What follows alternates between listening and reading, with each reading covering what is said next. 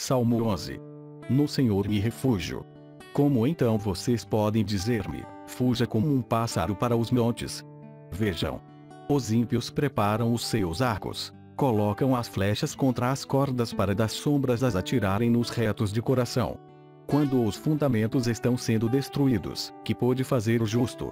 O Senhor está no seu santo templo, o Senhor tem o seu trono nos céus. Seus olhos observam, seus olhos examinam os filhos dos homens.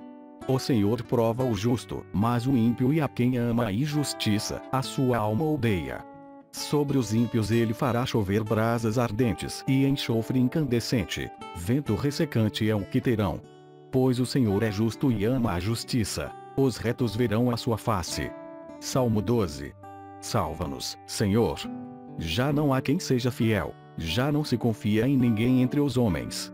Cada um mente ao seu próximo. Seus lábios bajuladores falam com segundas intenções. Que o Senhor corte todos os lábios bajuladores e a língua arrogante dos que dizem: Venceremos graças à nossa língua. Somos donos dos nossos lábios. Quem é Senhor sobre nós?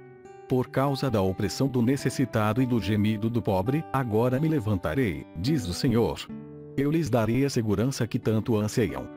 As palavras do Senhor são puras, são como prata purificada no forno, sete vezes refinada. Senhor, tu nos guardarás seguros, e dessa gente nos protegerás para sempre. Os ímpios andam altivos por toda parte, quando a corrupção é exaltada entre os homens. Salmo 13. Até quando, Senhor? Para sempre te esquecerás de mim?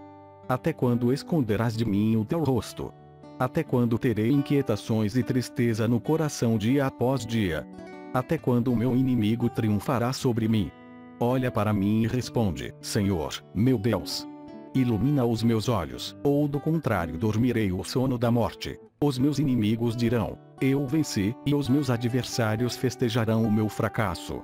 Eu, porém, confio em teu amor. O meu coração exulta em tua salvação. Quero cantar ao Senhor pelo bem que me tem feito. Salmo 14. Diz o tolo em seu coração: Deus não existe.